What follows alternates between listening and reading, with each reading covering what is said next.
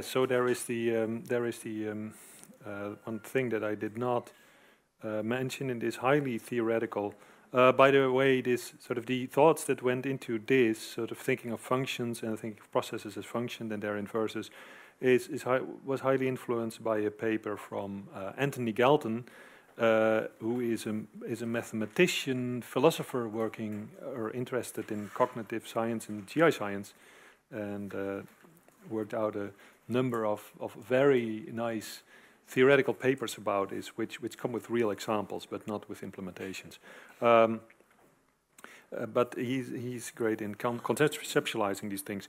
Um, the, uh, the example here, uh, so this the reason why this is meaningful, yes, from going from here to here, is basically that we know for these points that we know what the so-called observation window is. And that's the country boundary in this case. Yeah? So we know for this process that within this boundary we have all objects.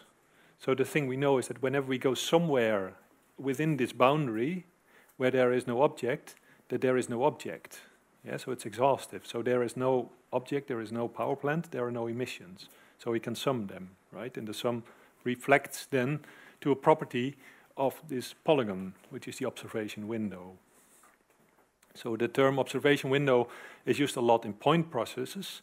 So point processes is the area, the branch of, uh, or, or point pattern analysis is the branch of spatial statistics that worries about points where you know where events where where objects occur where events happen like disease cases and so on uh, and and whether this is random or whether this has some you know some relationship to known factors or is, is non-random and so on um, less less so in interpolation problems. In interpolation, you don't see this often. You don't see you don't often see an observation window. So you could uh, you could of course say, well, I have a database and I will select all the German stations and it will interpolate for Germany.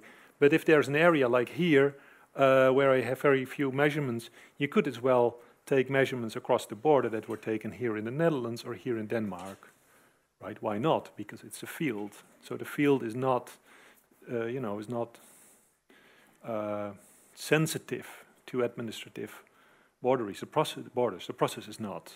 You know, the process doesn't stop at the borders.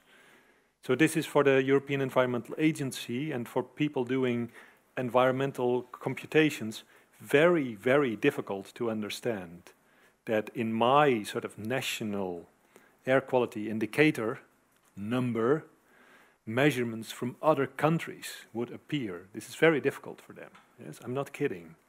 Yes, this is this is sensitive. Yeah? So um, you could do an estimate. You could do an estimate of the mean value for the area. To estimate that mean value, you would have to make predictions. You have to go here, do predictions, where you get their errors, the error sort of error standard errors of the predictions. You get the covariances of the errors of the stand of the predictions.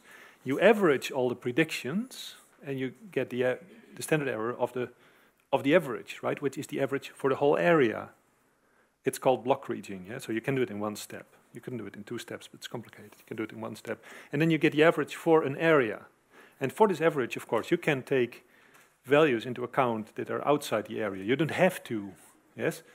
It's just that things work better when you do, because values just outside the area are informative about what happens with the field at, at the boundary areas. So it improves things.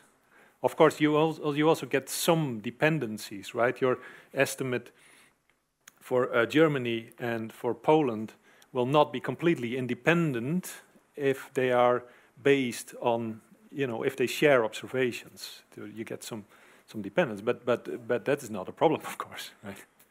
So uh, then the question is sort of what does this, what does the border mean? Well, the border means that uh, sometimes you want to have a number, an average number for a country, yes? And if you want an average number for a country, you have to integrate over the country, you have to integrate the process. So interpolate and then average. Um, if you would compute this number, if you, if you would compute the mean number, it would be the mean for this for the set of stations. So in that sense, what we say there is observation window, the observation window for the objects means that for this area, for this country, I have these objects are all the objects there are, I know there are no more. This is not the case here. I could take as many measurements as I, as I would. So for this set of points, the corresponding observation window, we argue in the meaningful paper, is the set of points. So these set of points is these locations are the locations for which we observed. For any other locations, we did not observe and we don't know. There is not a zero value. There is a value which we don't know. So the observation window is not, you know, it's not really a window, but it's basically the collection of observations, the collection of, of stations. Collection of these stations is the observation window. The line in primarily is not is not relevant here. Um, and and so we basically the so the spatial statistics literature there sort of typically has chapters on on point pattern analysis and has a chapter on geostatistics, which which concerns with fields and interpolation and, and prediction and so on. So often there is not a very good introductory chapter that tells you you have to, you know, with your data you have to open the book there, and with your data you have to open the book there, and there is this sort of data where it's um, um, where it's not always uh, unambiguous whether we have objects or fields, as I mentioned. Uh, if you look further into this example of air quality, we discussed this over, over the lunch break. Um, the interest, of course, is not so much uh, PM10 over Europe. The interest is PM10 or air quality where we live, right? And we live for 95% in cities, and and a lot of people travel through, you know, through heavy traffic situation. That is why they're heavy traffic. So these two lines are very relevant when we think of exposure. So the numbers we really would like to know is the degree to which a population is exposed to certain air quality levels. And then the, the sort of the upper two lines are sort of that is again an integration problem and a very difficult one with with very large unknowns. And and you need to do a lot of model assumptions there. Uh, so I was going to say, say, a bit more about R now, uh, because this is the so spatial temporal data about R. Um, I will do it like this. I will sort of say first a few things about data frames, what they are, how they work, and what sort of concepts we try to to copy. Um, then I will say something about time, about time series, about space, about spatial data, then about spatial temporal data, and then we will look at Tom's data. Yes. So let's see how this goes. Um, so to start off with, uh, I said I will assume you understand this, but I will go through this very slowly. Uh, I will first understand, try to explain why it is useful to understand uh, what a list is. So a list is um, list is a function that creates a list. Yeah. So I now made uh, an object, yes, of class list, and that's the empty list. And lists are important in uh, R because they are the kind of the most generic data structure. They can contain anything, yes, and most things you work with in R if they're data objects, they're you know nearly almost lists. The thing is that you don't have to worry about it too much that it's a list, right? So you hopefully it's something more useful like a data frame, but then data frames are lists, and it's and it's useful to understand a little bit their connection. So lists uh, essentially uh, have a length, yes. So they have a number of elements. So I could make a list uh, which has two elements, uh, a number and um, a, a, a, um, what is this? it's not a character string. It's it. Well, it's a. Well, basically, a number is. Uh, it's not even a number. It's everything. Uh, sort of uh, elementary data are vectors. Yeah, so if I say a 2, I have 2 here, then you say it starts here with a 1, sort of saying, oh, I have a vector, the first element of this vector is 2. And so the, all the data in R is, is, is sort of vector oriented. So unlike uh, C, C++, Java, and even databases, where you think records, right? Uh, you don't think records here, you think vectors. So this is not a strange idea. Uh, SAP has recently is or sort of going big with its SAP HANA, its, its column store. So big data databases are essentially going to the direction of instead of record-oriented relational database structures, going to column stores, right? So I'll, I'll, get there in a, I'll get there in a second. Um, so we have here a list of two elements, a number, which is essentially a factor of length one, yes, and uh, and a, uh, um, a, an, an, element of mode character, so a word, so to speak, which is a character vector, also of length one. Yeah, so I could bo both make them of length two, so I have C two three and C foo right. So I have a factor of length 2 here and a factor of length 2 here. But it's completely arbitrary what is there. Yes, there can be anything else. That could be a, a logical or something like that. And it can be whatever. You can put anything in. You can put anything really in lists. You can even put functions in lists, but I will not talk about that. Um, so lists are, are, are, collections of things, are used to collect uh, data. And now um, the um, the sort of the, the, the uh, uh, uh mm, two properties you, you need are, are that are useful uh, to know are that lists have a length. Um, and so this list has three elements, so it means it has three list elements. And you see that the list element may be a factor of another length, right? Um, a second thing is that I can do selection, yes, um, and the selection of lists work with the square brackets. And there are two types of selections. One is that where I use the single brackets, yes, and there you can see that what I get back is a list of length 1, right, with this factor. So the single bracket selector here returns me a list. So if I take the first two elements, yes, I get a list of length 2. Yes, with the first two elements. Um, another selector I can do is uh, the double square selector. So first the first square selector to see the difference.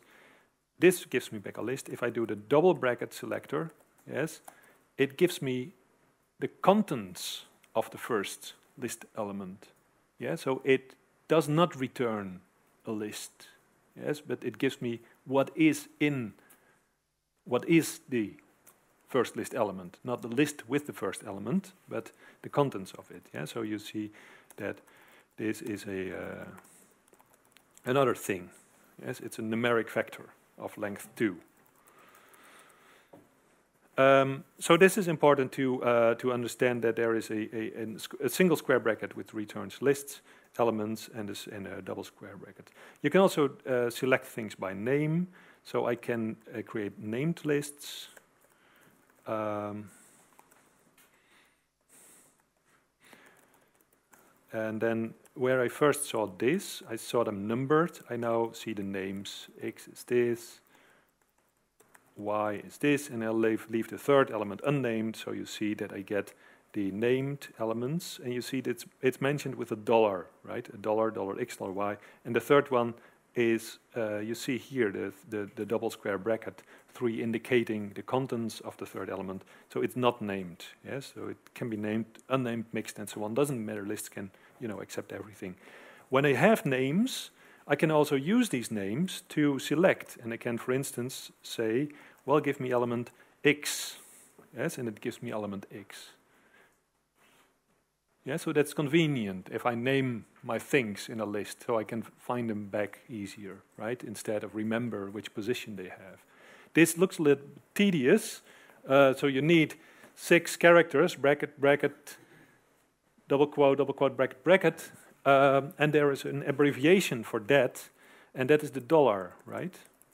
You already saw that revealed here. Um, here, dollar $x. Yes, I can use a dollar $x. That is exactly identical, yeah? So that is a syntactical shortcut to double bracket with quoted names. Yeah, so I can leave out the quotes, I can leave out the double brackets, and makes life much easier if I can do that. So I drill down into the list element and see the list element. Yeah, so these things are useful to uh, understand, especially because the most common or a very common data structure that we use in R is the data frame. And data frames are lists. Yes, data frames are lists of columns with equal length. Col lists of vectors. And the vectors, we think of vectors as columns in a, in a table. Uh, at least that is always how we, you know, how we print them and so on, of course column is not a concept of in a, in a computer, right? So it's it's our mental, you know, our mental understanding. We always look at data like like as columns, variables and columns. So um, I can um, create now a list uh, and sort of you know put this thing in X. Yeah, so X is this list, and then well, let's see if I can make a data frame out of this uh, it even works, right? What you can see here is that it uh, makes made a data frame out of this list. It made this third element longer, right? So it replicated the third element as often as the other two are. Yes. So um, it's probably you know goes wrong if there's an uneven number and so on. But but you know we would argue this is not not very useful. But um, Anyway, if I have named elements in a list like this, uh, and I say, well, make that a data frame, uh, then I get this data frame. Yeah, so I have this data frame. Um, and you could ask, is this a data frame? Um, I always ask the class from things if I don't know what it is. Yes, it's a data frame. And it could ask, is this a list? Yes, it's a list too. Yeah, so data frame is a list. Yeah, so anything you can do on the on the list I can do on the data frame too. So I can address variables by name, yes, or I can address variables by double quotes and names, or I can address variables by double quotes and their position, yes, and I get these things. Ah, here something changed, you see? Something has changed. So I had a list here where the elements were text, were character vectors. Yes? R tries to be smart, right? And people disagree whether this is good or bad. Strong, there is sort of heated debates about whether this is a good thing.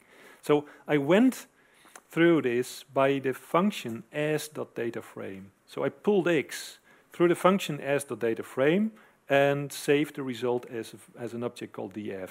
And it has changed the contents because we can see that class df2 is of mode factor, whereas class of x2 is of mode character. So it has it has transformed character, so textual information, into factors, and this is probably documented.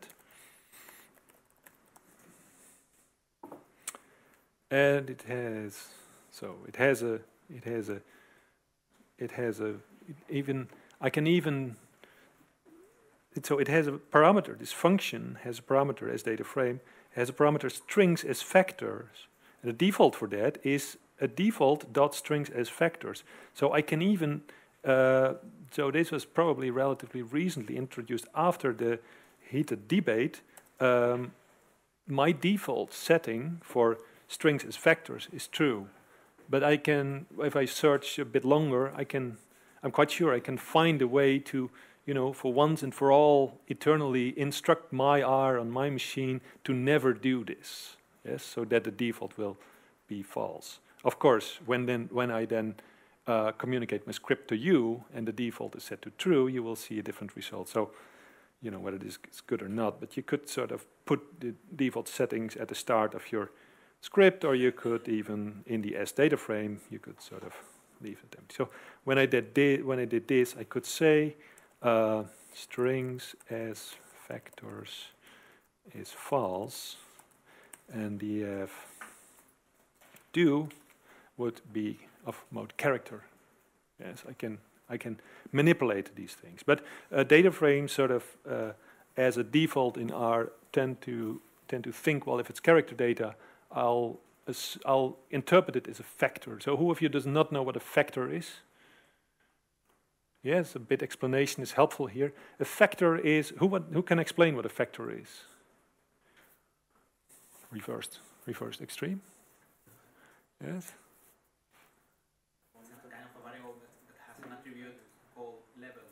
Right. It's a variable that has an attribute called levels. What kind of variable? What is the variable? It Should be categorical. Yeah, so it's interpreted as categorical. So it's a numerical variable. It is so it represents categories. So if I have categories red, blue, green, then these repeat a lot, and it's it's sort of you know instead of doing all the text comparison, it's easier to store them as numbers one, two, three, and and remember that one represents red, two represent blue, and three represents green. So it's it's a it's an optimization thing. You can of course all categorical information can store everything as character, but then you get into problems with typos and so on, and you get into so it is so uh, indeed so. Um, factor of this thing uh, is um, is a numeric variable, so it has numbers. I can convert it to the numbers, and you see that it's two and one. The levels are alphabetic, and it also has levels, and levels are these two. So it, it's a way to store categorical data where the categories repeat. So you wouldn't you wouldn't do it for names of persons. Doesn't make sense. But a lot of statistical data that comes in with names like land use types or so, right? There's 10 types and there are 5 million observations. Why store them as text and repeat it all the time, right? So it's an it's, it's much more efficient for. And of course, you never know in advance what is what. Whether it's again right, whether the character data is is unique names or whether they're categories. It assumes they're categories, and and you can override it. Okay, so then, uh, so, so data frames are lists, so everything works on list, works from the data frame. Then data frames are a bit more because we, we tend to see them as, uh, as um, um, you know, we tend to interpret them as, as things having records, right? Where sort of the first element here sort of together form a record, and these two together form a record. Of course, they don't. They're just two factors. This is a factor, and this is a factor. This is how the data structure is organized. But data frames are a little bit more, you know, friendly. And for instance, let you uh, select the first record. Yeah, so that is a good thing. Um,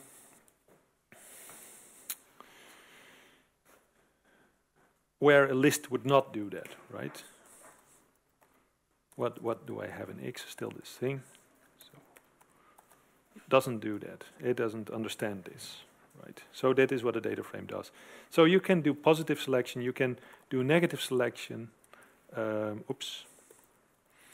That means I remove uh, a record, one or more. If I have negative indices, I remove them.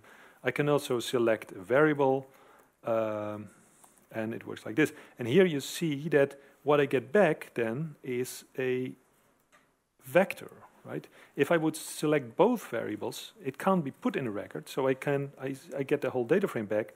Uh, if I only select one variable, I get back a vector, so not a data frame. Yeah? So that is, you could say, well, why don't you do? Why? What is this unfriendly? I could instruct the selector here to say, well, don't simplify things. That is the drop is false argument don't simplify things. So even if I, if I select one column, one variable, don't simplify this to a vector, but return me a one-column data frame. Yes, you can instruct it like that, and you have to say drop is false, drop by default is true. If I can simplify, I simplify. Yeah, so if I have a three-dimensional array and I select sort of one slice from that, right, I get a mate, I get a two-dimensional array. This is uh, the simplification. That is usually you want this but you can override it, so it's not always. So this, this is useful to, to know.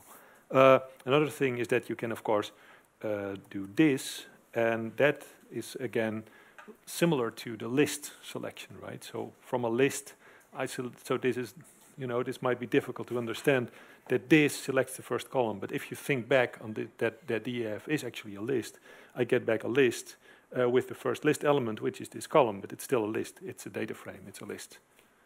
Yeah, so think of the of the if you think data frames are lists, then this makes sense. If you don't think that, it doesn't make sense. So if you do this selection on a raster, on a raster object, you get the first cell, right? So it's uh, it's not always the so um, And then here we are, right? So how does how do so people get used to uh, selection options because selection is an important thing uh, in in data analysis. So you do it everywhere. Sort of do this on that on these data, do that on that data, and so on. So uh, these square brackets and how the syntax with the commas and so on uh, works are important, and and uh, it's then always a challenge to sort of port these ideas to to new data structures. So I was here. Where do I did I went through? I said, yes, you can, you can select a, a record. You can select a record and keep the data frame structure, return the data frame. You can select a column. Uh, by default, that simplifies. You can select a column by just taking the first you know, list element. That does not simplify.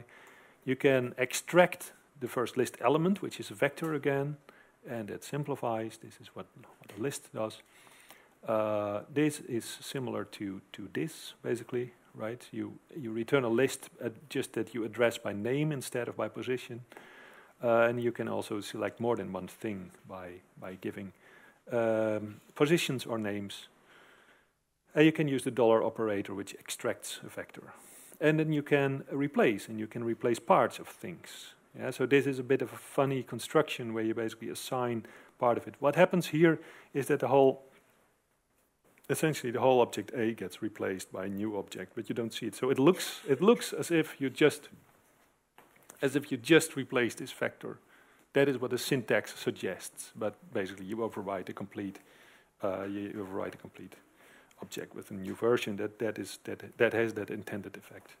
So these are the things that you don't need to know, uh, you, as, as, long as your data are not like uh, five gigabytes or so, because then you will discover that it's not it's not as uh, as friendly as it as syntactically looks.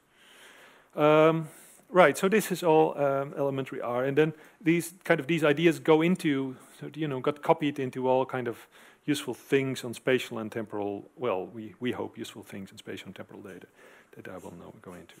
Um, a little note that I made that I also uh, sort of stress on all my students uh, in, in the R programming courses that I give in uh, that I give in Münster is uh, is the value of functional programming.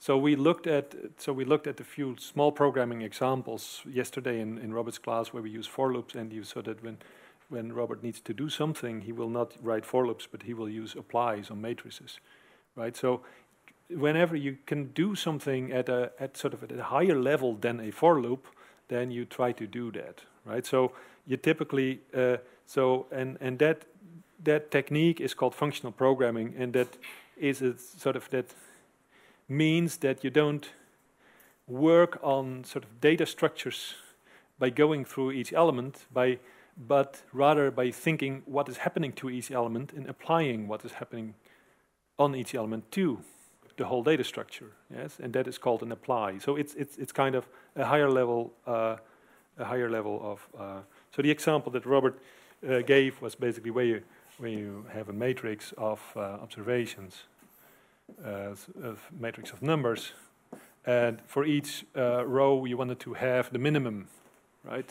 And then you could, of course, go through the rows in a for loop, and within that for loop, go over all the columns and sort of, you know, take, you know, copy the minimum, sort of take, keep the minimum in mind, and sort of report it every time I report it every time, I report it every time. But you can also sort of say, oh, I have a function called min, I apply it to all of the rows. Yes, and that really works works like that in the sense that uh, I'm, I'm, showing this again. So if we have a matrix with random numbers uh, that is 10 by 10, um, yes, uh, I can apply to this matrix to the rows, for instance, it's the first dimension. I can uh, apply the function min, and I get the 10 minima of the row minima, right? So apply something to, I apply something to a dimension. And this is a very powerful thing because it's not only working on matrices, it also works on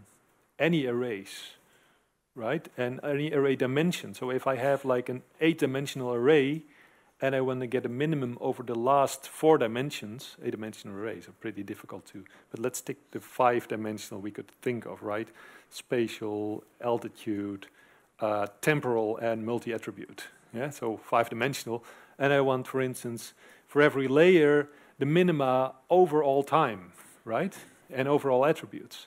So you can point out, you know, go over space, go over time, go over uh, uh, go over attributes, but do it for all the layers, and then I get the minima for all the layers. And it's an it's an expression exactly as simple as this, or it should be as simple as this. Uh, so uh, it it avoids thinking, uh, you know, complicated thinking about dimensions. It, it, allows you to directly work on a high level, sort of think of, of, of dimensionality of problems. Uh, and applies works on, on arrays and matrices. L lapply works on lists. So the whole sort of machinery in SP, and, and I also think raster is basically completely sort of works only with lapplies and, and do.call. This is all called functional programming uh, material.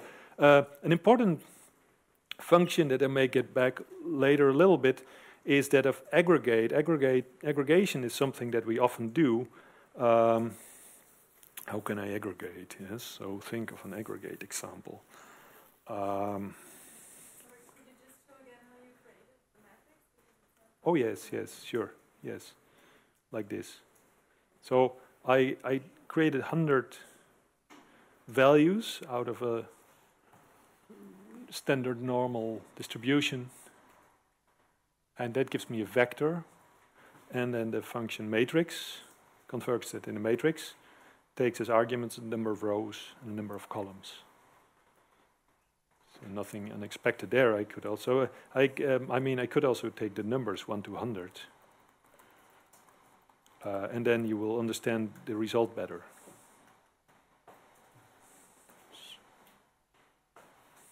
Uh, and also if I do it over the columns, you will also understand the result even better.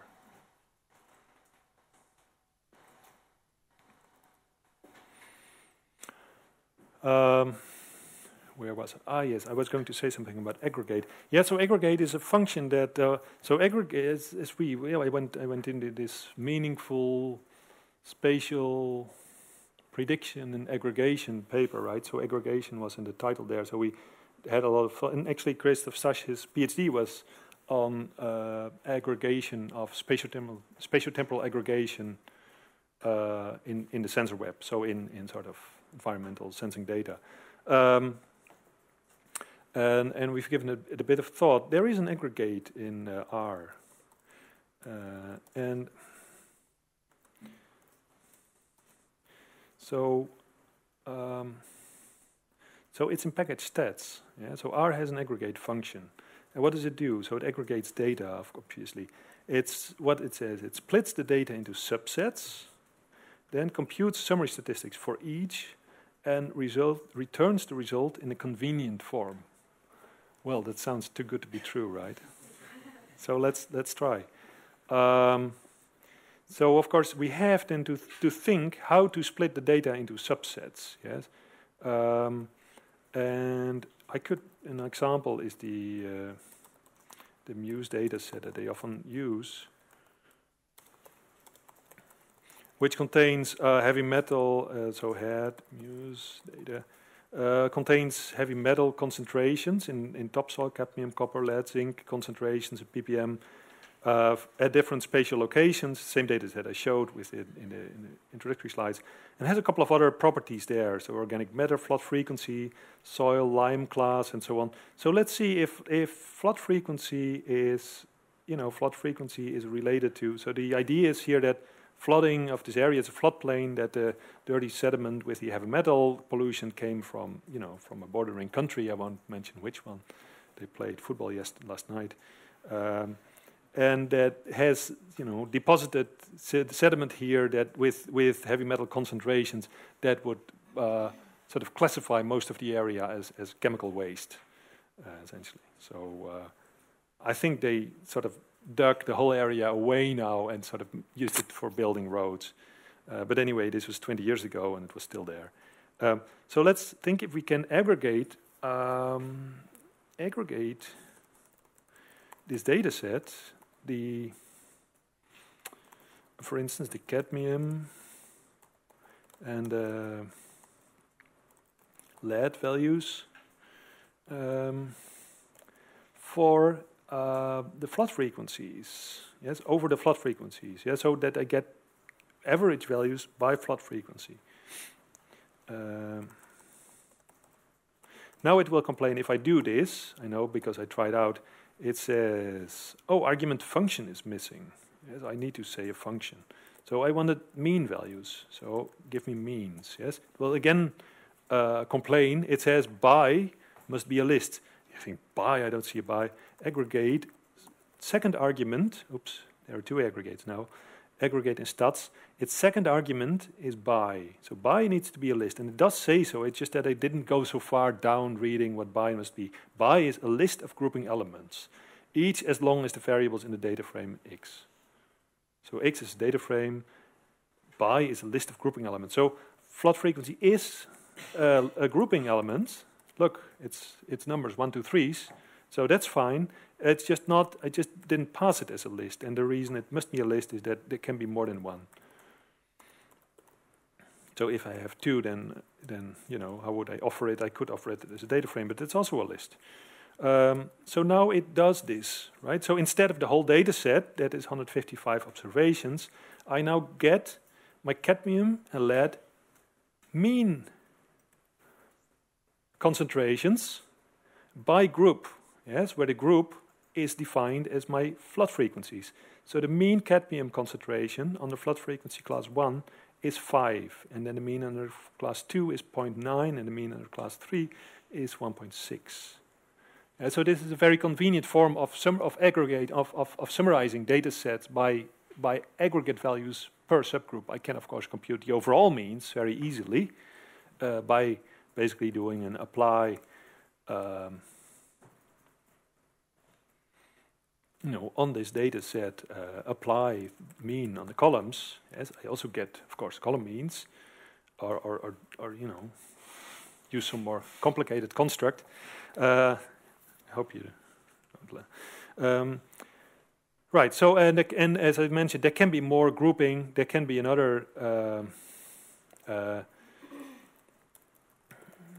where was where was my data? It can be another grouping thing, for instance, the lime class. I can sort of include that, uh, or the soil type. Let's let's do the soil type, soil, and then I get a combination. So I get so it goes through the combinations of the flood frequencies, soil type one, flood frequency two, soil type one, flood frequency two, and so on. So it looks at all combinations. Not all combinations are present. You see here that two, uh, uh, 1, 3 is not present. Yeah? So for all combinations that have values, it reports the mean values for, um, for these group combinations, and you can make that as complicated as you want.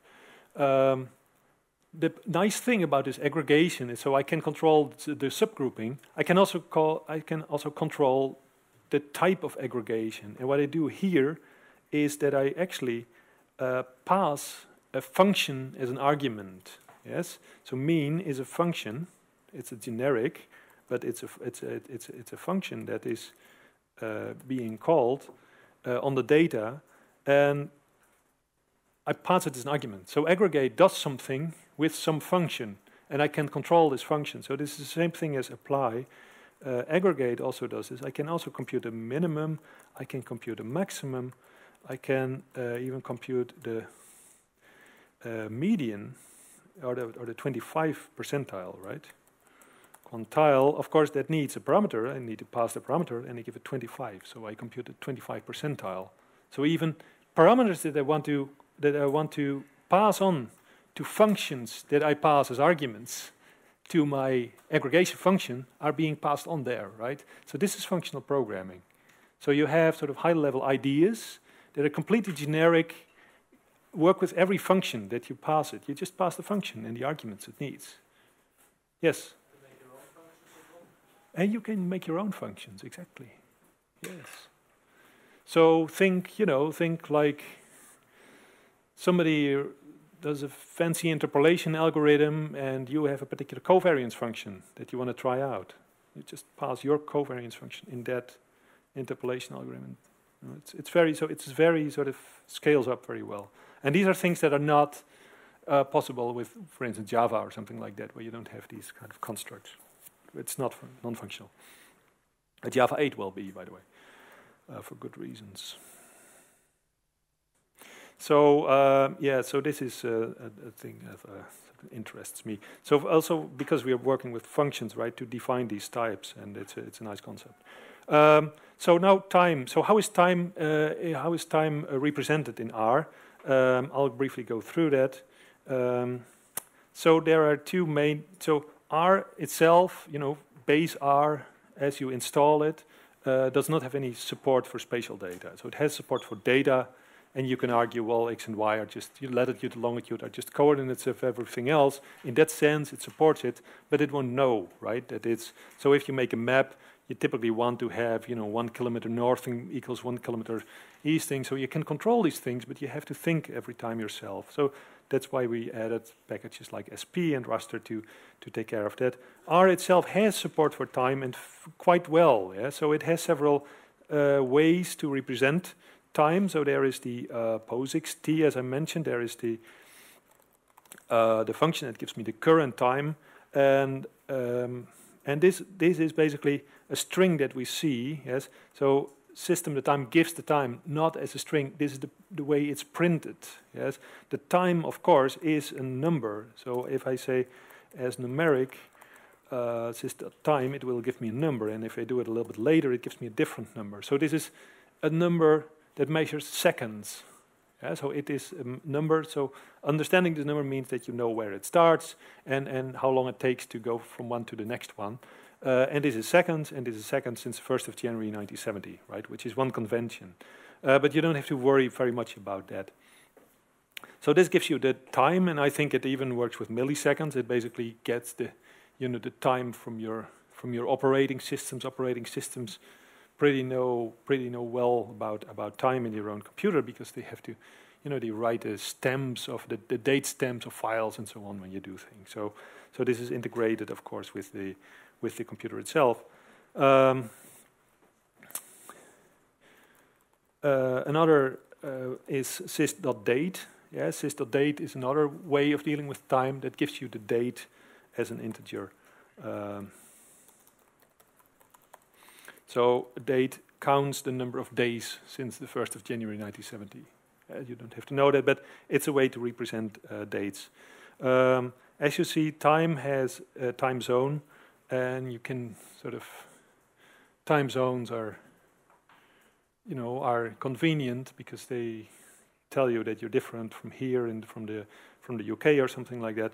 Um, and they also, uh, you know, they complicate. So sometimes it's easier to to do as if you know as if everything you do is in is in UTC or GMT or something like that, because um, at least then, uh, well, for instance, if you look at time series and you would look at duration of of days, then you find out that some states the days are 20, most of the time 24 hours, and some of them are 23, others are 25, and then you think, uh, you know, what to do next.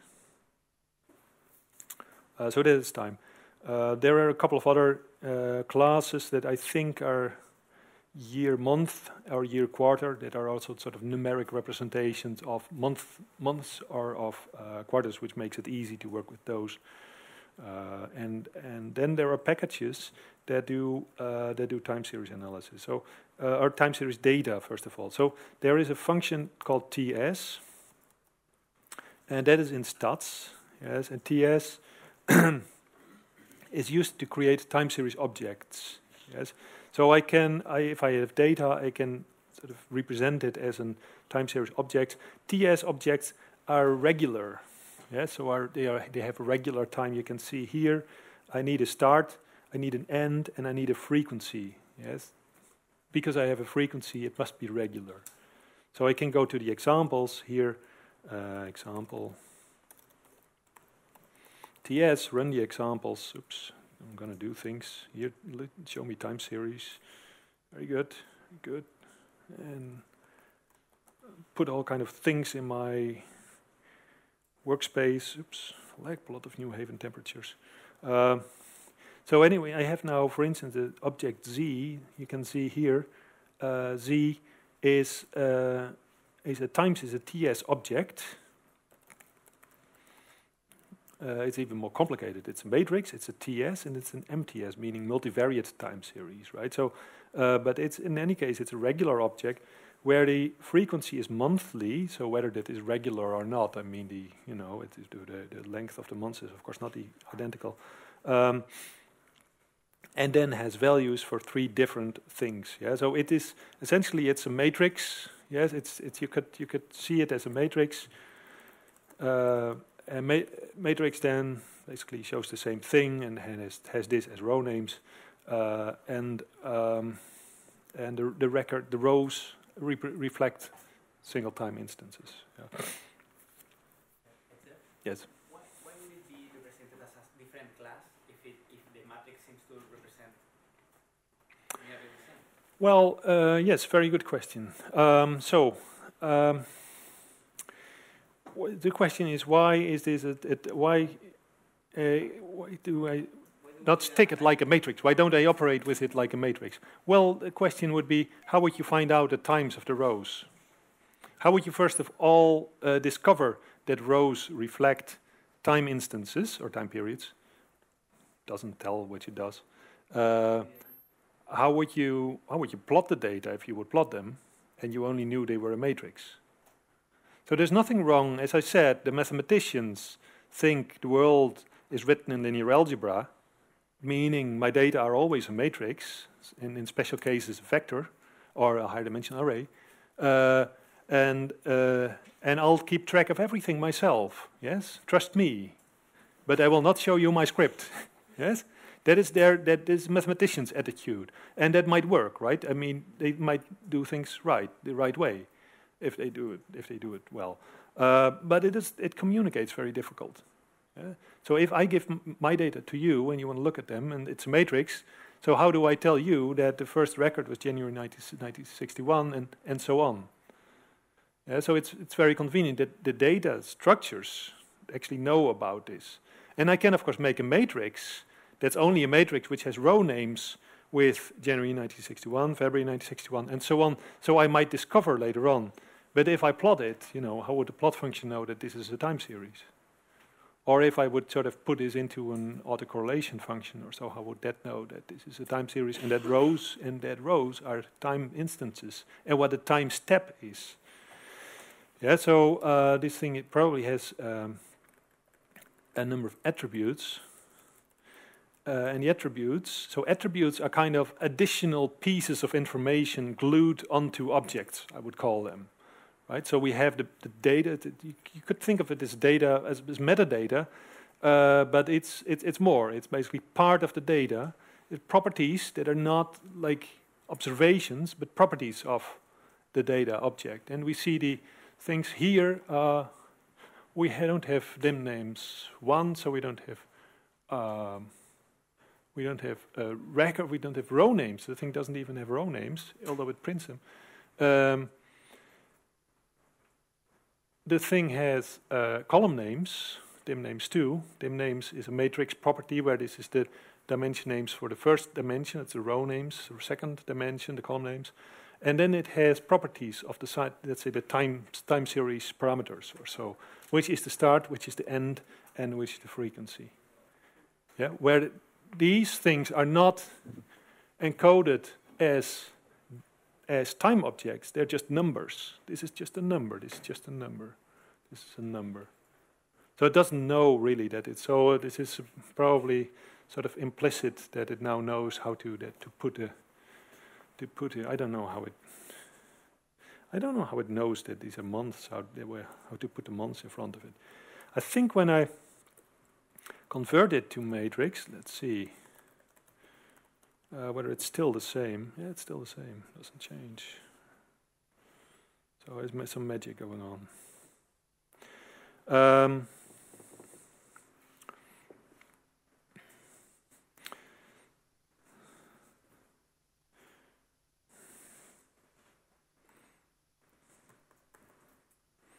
I don't think that this will work very well. No, this just puts it in a one row matrix.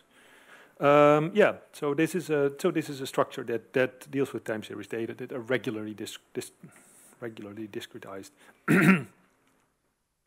Although I I would dispute uh, that that sort of you know cutting the year in twelve equal pieces gives you months. Um, it's not for nothing that meteorologists uh, or climate scientists uh, take the year as having 360 days, each month 30 days, right? So there are NetCDF files that have this. This there is a, a field in NetCDF files that tells you how many year, how many days the year has. Might be 360 because it's so much more convenient, right? Um, who could ever thought about leap years? Um, okay, so that is that. So then we have uh, then we have two packages, Zoo and XTS. And Zoo and XTS are important because they do much more with uh, with time data. Yes, they let you do all kind of essential things with them. So um, uh, Zoo is is uh, stands the OO stands for ordered observations. So they're ordered observations, and they can be time ordered. But the thing is, they are ordered, and, and Zoo doesn't care how they are ordered. They are ordered.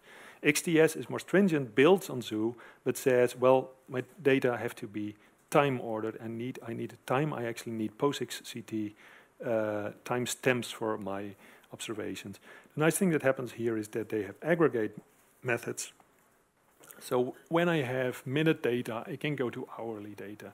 When I have daily data, I can get to monthly data. I can do, I have aggregate methods that let me aggregate time series to an arbitrary new discretization. And it is extremely convenient. So this is one thing. The other thing they have is uh, dealing with missing values. If I have missing values, I can fill them in either with the last or with the next or with linear interpolation, with some spline interpolation, all kind of machinery, relatively simple machinery there is to deal with, uh, with gaps in time series.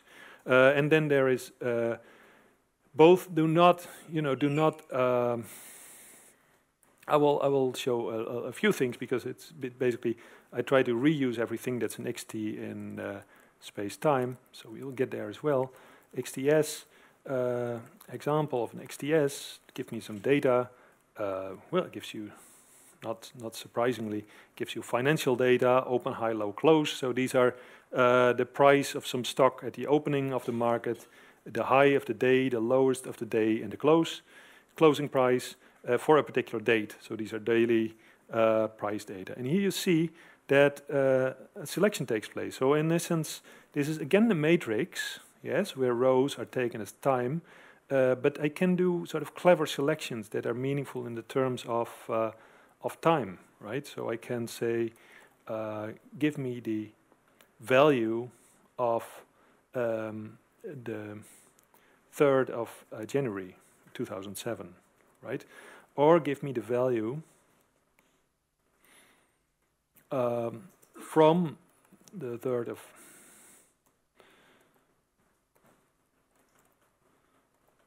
from the 3rd of January to the 10th of January, right? And it does that. So it has a syntax um, that is very convenient to do selections on time. And you might not be surprised that this will give me all the data of January. Yes? Or if I say 2000 and 2007, it gives me all the data for 2007, and so on. Uh, so it, it makes it life much, very much easy that you don't have to think about which records, you know, and indicate record 15 until uh, 237 or so, but you can directly sort of point to a particular period. And the way that it does that uh, is, the top of my head, um,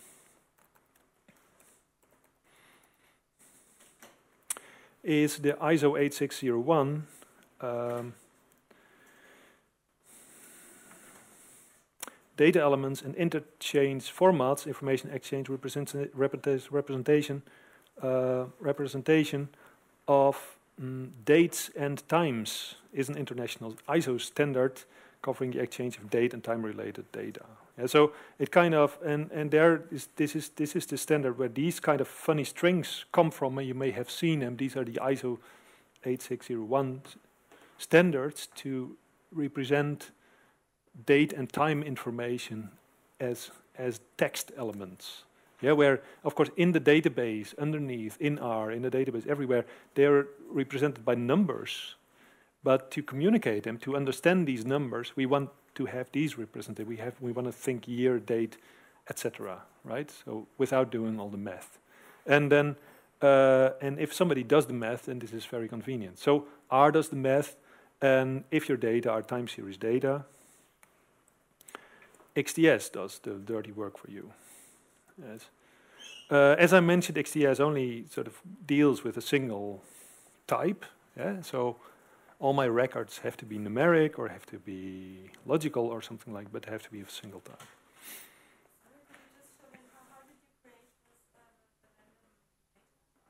Ah, this is just an example. So I ran the example. So I do that quite often.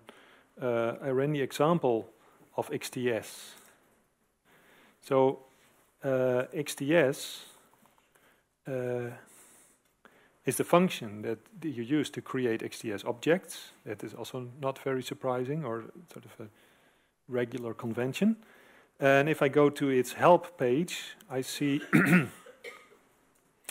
I see the syntax and so on explained what I need to do. Of course, that is way too much work. So I just drop and sort of go to the example. And the examples are here.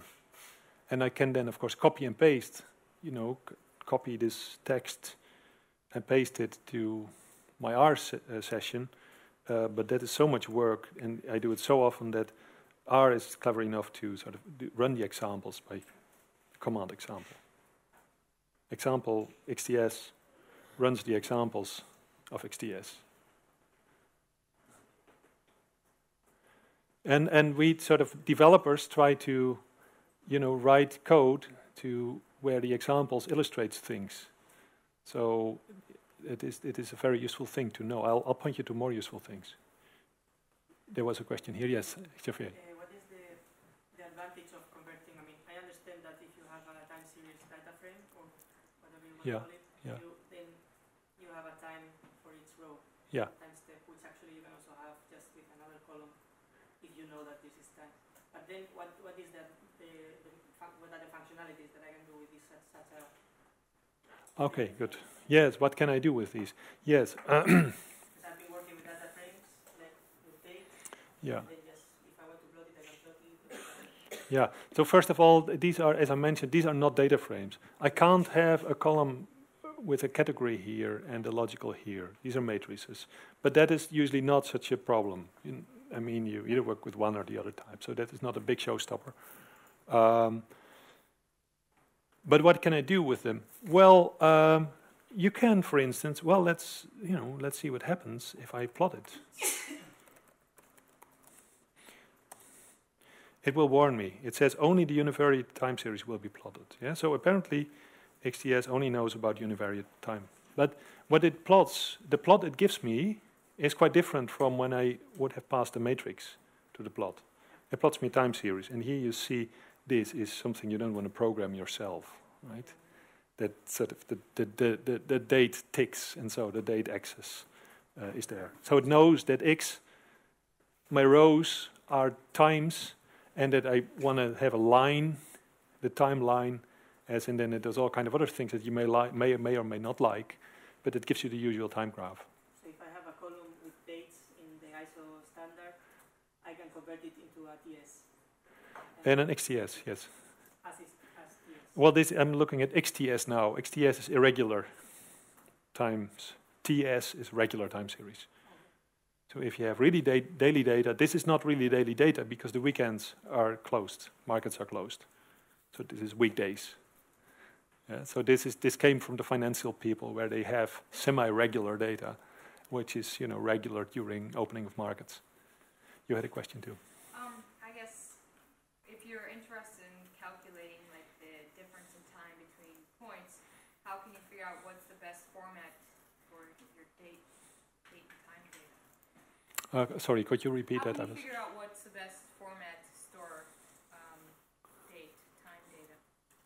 Uh, you mean the time points, the time instances? Yeah, if you want to do calculations, like say calculate the difference in minutes between one, one point and another point, how can you figure out what format to have your information in? Good, uh, good question. Yes. So the question is: so how should I represent? You mean whether I should use date or POSIX CT?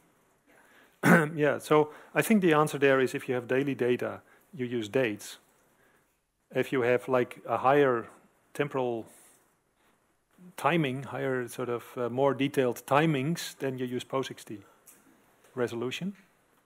Yes, resolution. Yes. I was thinking granularity uh, for some reason. Um, right, so I get the times by asking for index. Uh, and they are now, uh, let's see, they are, they are, it looks like they are, um, sorry, they're POSIX CT, yes. So in this case, they, the times are POSIX CT. I could then convert them into date as dot date, and I get the dates, right? So that that takes off the minute information and so on. Um, so there you can exchange between one and the other. But these are the, the times of the XTS time series are POSIX-T. Uh, and then I can indeed I can uh, compute differences between time points uh, and the differences. Um, there is a function called difference that that computes the difference between consecutive elements, and that says time difference, and that tells me it gives me the time differences, yes, in days. Yeah, so that is very that's very friendly. It gives me numbers, but also gives me the units of the numbers. So uh, the the class of this thing is a diff time. Yes, so it's a number. So of course it's a numeric. It's as the numeric. Uh, it has numbers, but it also has attributes that tell me what the uh, class is, but also what the units are, right? So if you plot things, if you want to plot changes over time, sort of day-to-day changes, then you can also tell, well, these are day-to-day changes, and unit of this is days, right, of differences. Have you ever used the Uh, Lubridate? Lubridate, Lubridate, no, that is, I, I'm aware of it, yes. There is a package called Lubridate, and Lubridate does a little bit more than this because it has more intricate classes. It comes from the, the sort of the Wickham side of uh, sort of computing. Uh, makes it easier to work with dates and times, providing functions to identify and parse time date, datetime data, extract and modify components of things. That is what POSIX CT can do too. LT perform accurate math on day times. Well, we could do that. Handle time zones, we could do that. Handle daylight saving times, we could do that. Lubridate has a consistent, memorable syntax. Oh, that's important. That makes working with dates fun instead of frustrating. So, no, I was not frustrated. It made my life easier also, like to plot especially. Okay. Well, if they can plot, that is of course useful. Uh, things that they did uh, also that I liked was uh, representing time intervals. Yeah, so, but I don't think that they represent time series data. So I think they represent just you know sequences of times or, or, or time intervals, rather than uh, dealing with time series data objects. So it makes dealing with dates a little easier, but not with time series data. So um, I don't know. Yeah, it, it can. I, I mean, it's, it's, it should be worth a look. Um, and it actually appeared for the first time after uh, I was started. I made critical decisions in. Uh, uh, so it appeared for the first time in 2010. That is after I started working on space time. So I never, I didn't uh, sort of consider it. Uh, I, I considered only what was there at the time. Um, right. So, okay. So what is the what is the lunch time break time? Lunch break. In is it half past twelve? Okay. Um, okay. So then, um, yeah. So okay. Then I okay. I, I'll, I'll then continue because I want to stop jump over time now. Uh, I want to point you to the task view. So if you cannot find task views, then you should now uh, pay attention. So you go from a CRAN mirror. Uh, when you're on the CRAN, it says comprehensive R archive network, right? It's not the R homepage. On the R homepage, it says the R project for statistical computing. You go from there. You can go to a CRAN mirror. You have to search a CRAN mirror, uh, and on CRAN mirrors, you see on the left-hand side, you see the task views, right? So task views are important because they guide you sort of in the, you know, in the wild, in the wild of the five and a half thousand R packages that are there. And I want to point you to a few. Roger did that too already earlier. uh, want to point you to the spatial one, the spatial temporal one, and the time series one. Right? There is a task view on time series that tells you everything about time series.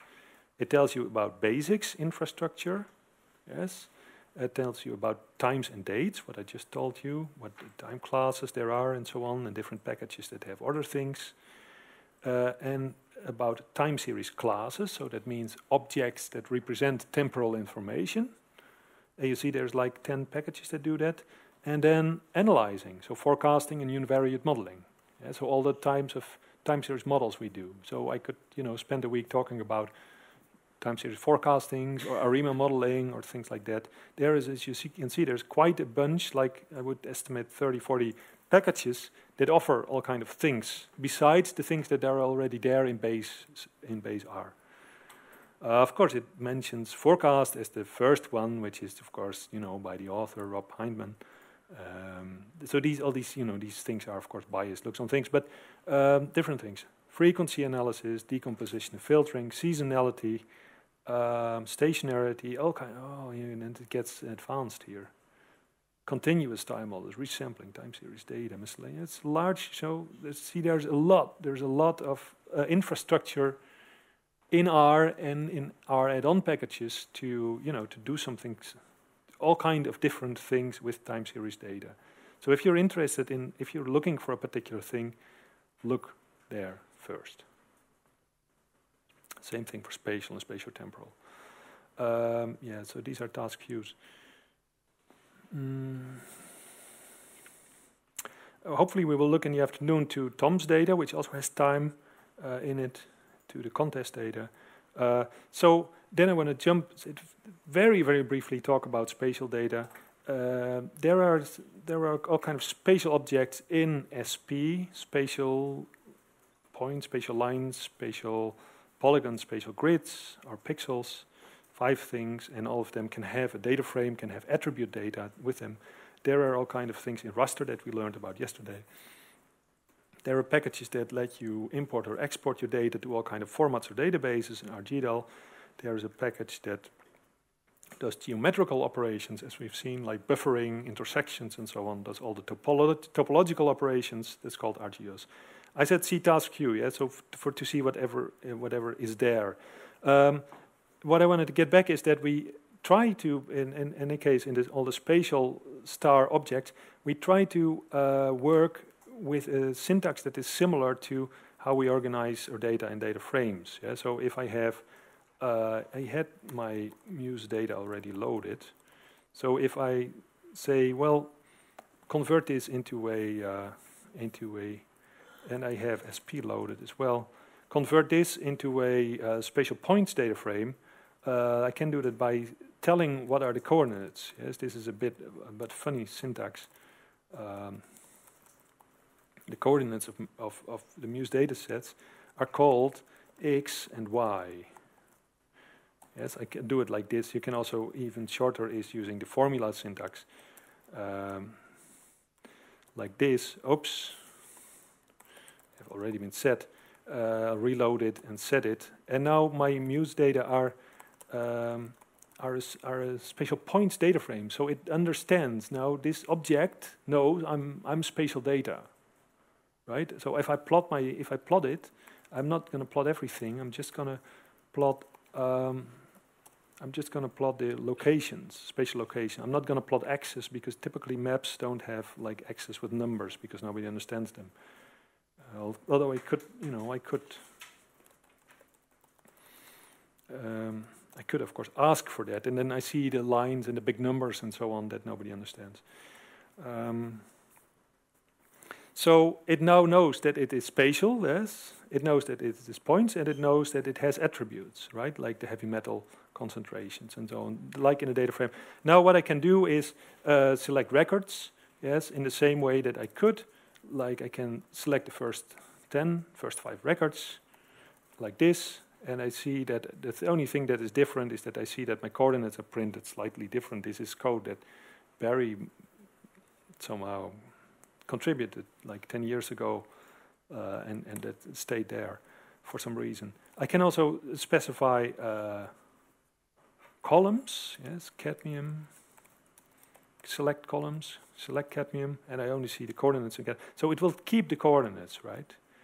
Um, I can I can then also sort of uh, extract uh, by using the dollar and say cadmium, and that gives me the first five values, cadmium values. So I can do the similar operation. So these same same operations are used as much as possible as it was as it used to be in a in a in a data frame, um, and and with some extensions to that.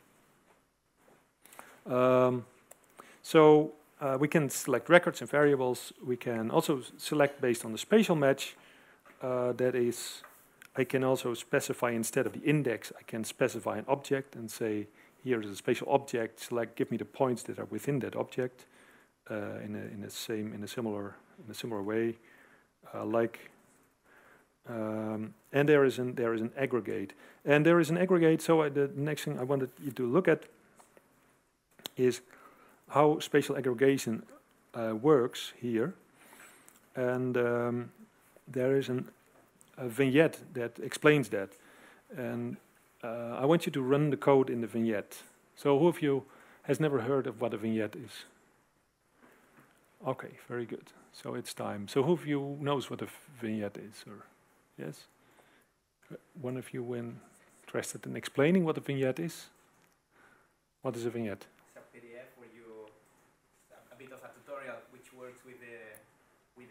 Functions of a, of a package and right. allows you to develop some, some tasks which are intended to do with this package. And it's right. all within a PDF. Right, so it's a PDF. So it's uh, similar to the, the documents that, that Robert showed. It's like a, there is different PDFs. Where do you find vignettes? Where do you find them? You can, you can find them directly in R by, by typesetting vignette. Right, like vignette, you type vignette over. Of course, you need to know how they are called. Uh, that is a challenge. Um, you probably can get a list somehow.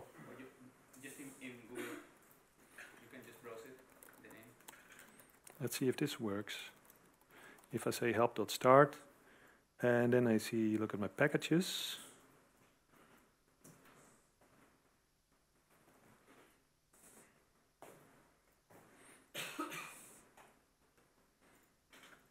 Mm -hmm. Uh, few packages installed here. Uh, then go to, I wanted to have a vignette in SP, so I go to SP and then look at what is there.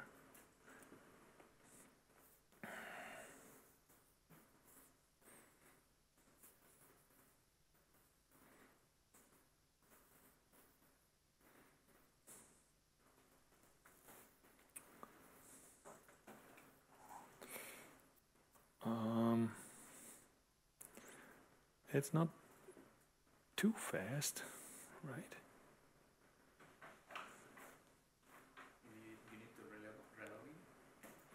Well, it's all on localhost, right? It's in the local. It's it's not it's not over the internet. It's, it's this is all on a local machine. Um, and I even have the. I mean, I, I have the cable, right? The thing that you don't have. Uh, anyway, if this takes maybe it takes long because I have many uh, uh, many packages. So on the CRAN mm, SP package, you can see that there is different documentation, right? So I hope everyone's familiar with these kind of the package uh, pages. Uh, a, a, thing that you will always find there is the reference manual, which is a very relatively standard, relatively boring document with the index of the functions, right? So you can look at the index functions and see is there anything I can use? Um, do I understand what the author meant by all these words? Uh, and go, you know, jump somewhere and you find essentially exactly the same information that you find in the online help. It's generated from a single file, right? This is, it generates the online help, the HTML help that you can get online, and the PDF that you find here. So every package has to have, that has to be complete. Optionally, packages have vignettes, and vignettes are more useful documents because they they try to explain something, right? Instead of a collection, alphabetic collection of function descriptions and and a description of the arguments, they try to explain something. And here is a vignette, and you can sort of see in sort of see here, I can see it here, that the vignette is called over. That's the file name is over. Um, I tried to find it in a different way, but couldn't.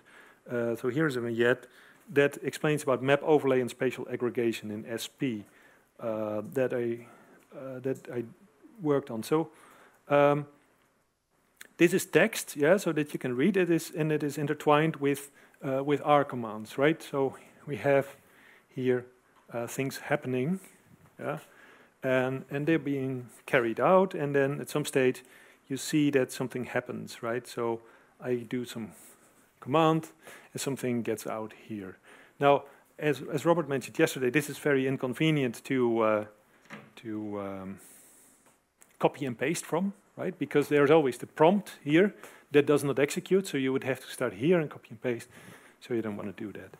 Um, so as I said, the vignette is. Um,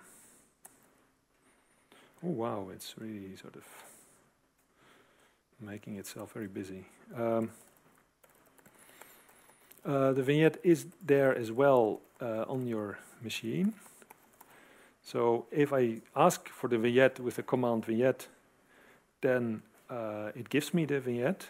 Just takes a while because it has to go through all the packages. So it gives me, the, it opens the PDF for me, so I can look at it locally. I don't have to be online. Um, the interesting thing is that if I say edit vignette, uh, you're not editing the vignette, but you're actually opening a text editor with all the R code that is in the vignette. That is basically the vignette is a combination of, of text, description, and R code, and they're being pulled together automatically into a final document. Right? So we don't when I when I write a when I write a vignette, I don't put this here. Yes? I only put this here, and then R runs this and outputs this, and the system combines that into, right? So the the the R sections are available as well there, and are actually available to you, and you can edit them. You can open them by an editor and sort of play around and run these commands, and then uh, modify them to your own needs. Yeah. So this is the idea where you can where you can do this thing. So I want you to try this out uh, and look at this vignette uh, as an exercise and uh, try to run it. So this is very simple. You save it as a file, you source it, or you copy and paste the whole thing to an R session. And then you try to understand what happened. It's, of course, the challenge. How did you get it into the, Into the document. I was in R, okay, no, I and I said edit vignette. So vignette, like this, this command, opens the vignette, shows you the PDF, takes it from your disk. It's on your disk, it's part of the package. The edit, right. Okay, yes, very good. Yeah, okay. Um, and um, so vignettes are, uh, so many of them explain things, so they meant as tutorials, right? As an explanation why something is there and how it works. And then you can do it yourself because all the code is sort of available to you as well. So they're, they're self-generating. Um, so um, so it, it's it's good to when you look when you see packages, it's good if there are vignettes to take a look at these vignettes. So what are these vignettes? What do they, can what can I learn from them? Usually they're much more uh, interesting, yes, much more uh, uh, useful than than the list of functions because they, they introduce you to, to topics and problems. You had a question. If you want to do this in, uh, in other packages, how, how do you identify the name of the... Yeah, it's a very good question. Um, yeah, so this thing is still running. Uh, I don't know why. Um, oh, now it has something. Um, so here, if I get, so if I go to the help system, help.start, I typed help.start, but it somehow, it somehow halted, yes. Here, help.start. Maybe you have, maybe on RStudio or something like that, this works differently. I don't know, right? Maybe you have a button for this or so. I don't, this, my R does not have buttons. Uh, but there's a command called help.start that starts a browser pointing to the root of the local browser, browsable HTML documentation tree on your machine that includes all the packages Yeah, so all documentation is of course online, but it's also local. Help.start will open a browser to it locally. So then I went in the help.start, I, I went to packages, and then it opened my list of 500 packages. And then I uh, selected SP, so you see here the help of SP, and then it says there's the description file, there's user guides, package vignettes, and other documentation. Click. Yes, and that should tell me, should give me the vignettes, except that it takes ages to.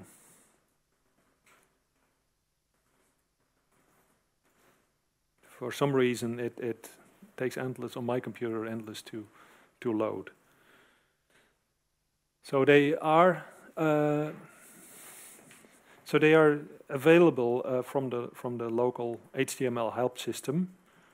And the other thing I just mentioned uh, was um, that here I, mm, but that is cheating. I admit, yes. I put my mouse pointer on the on the vignette, and then you can see uh, how it's called. It's got the URL. You can see how it's called. And you see it's called over.pdf. So it opens with vignette over. But that is cheating, I admit.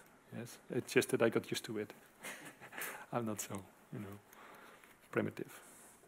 As long as it's predictable, I don't care if it's primitive. Um,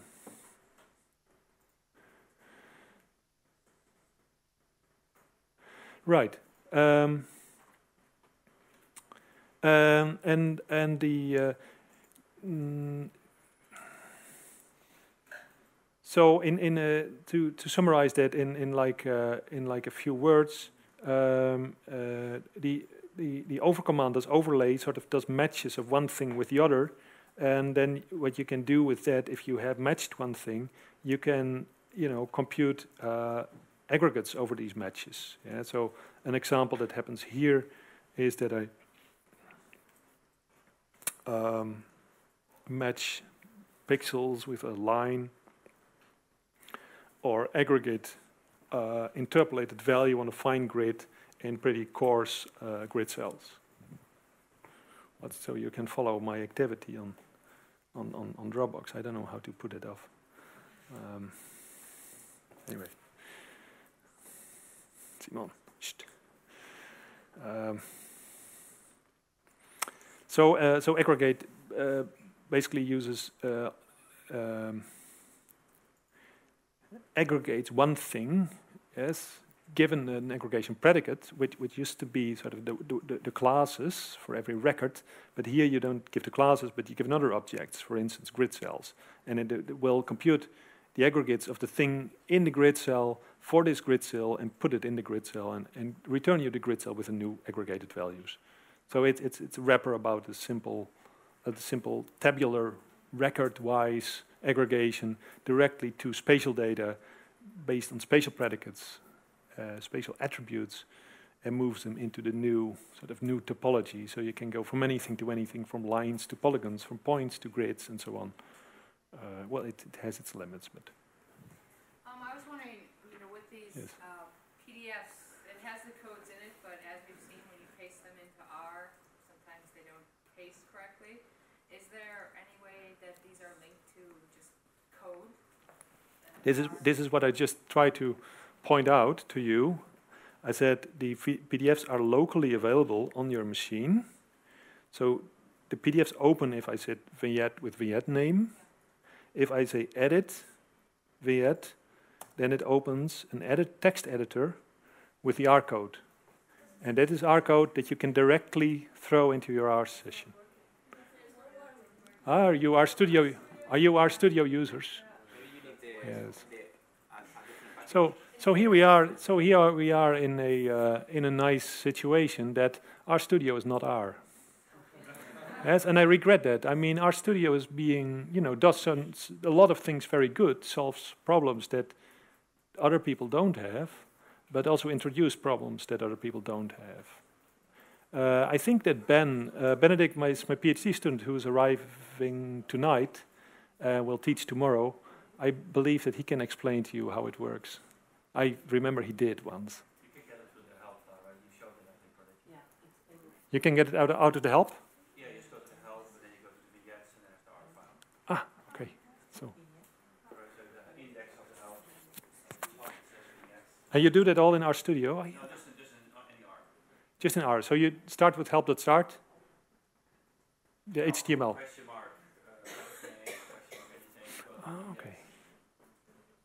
Right, because on s- studio it directly opens the HTML Yeah. help, right? Is it possible that it requires a specific package instead uh, loaded? No, I don't think so. No, it's uh, it's. I don't think it's. I don't know exactly what it was. I forgot the solution because I j- just remember that it's an RStudio problem. I'm not interested in solving RStudio problems. So I'm interested in our problems, but not in RStudio problems. They should solve that. Sorry, it, RStudio should solve that. RStudio should solve it. Yes, yes. Well, they solved an enormous problem for me. They they added uh, uh, VI uh, key bindings, right? So my editor is is VI. It's something very old-fashioned, and they it's sort of RStudio can do that too now. It's it's very friendly, just not everywhere. But anyway. Um, yeah. So yeah. So there are we we have that uh, more often. On uh, by the way, this is one example, smaller, but we have it more often on if there are questions on mailing lists that people do things, get run into problems, do things in RStudio and run into problems, and that we can't reproduce. So then, basically, first step to do is to do it outside of RStudio and see if the problem remains. Right. So be prepared of that. Be, I mean, don't assume that RStudio and R are the same working systems. So people who work with R but not with RStudio cannot reproduce these problems. That is, RStudio can. Um, okay, so that's vignettes. So vignettes, so and, and understanding, reading vignettes is very important. Understanding how you can run these code is, is even more, because this is, this is where we, package authors, basically put our effort in, right? This has the widest audience. All the, all the package users can see this. It's integrated. It's on the websites. It's integrated in the help system. So you can read them, you can click on the PDFs, you can click on the R file, run the R file, and, and modify, right? Run it for your own example. So man, lots, lots, lots of. So look at, uh, you know, look at uh, uh, packages like uh, RCPP, which gives you a, an interf- very fast interface to uh, C++, look at the number of vignettes it has, right? It is essentially the whole Springer book of uh, Dirk Eddelbuettel, I think. Um, not 100% sure, but uh, so there's a lot of effort being put in into vignettes. By some people, of course, or other people they completely ignore it and, and don't understand it.